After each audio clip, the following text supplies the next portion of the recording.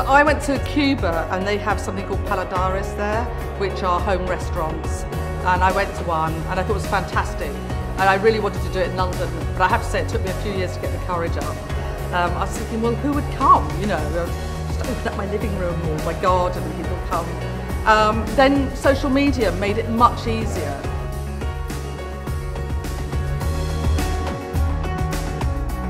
People say, how can we afford organic food? And I think, how can you not afford to buy organic food? I mean, really, you're dealing with your health long term, and who knows what they're spraying on other foods.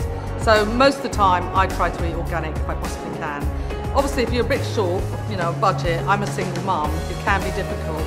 But I'd rather buy a, one decent organic tomato than a load of tasteless ones.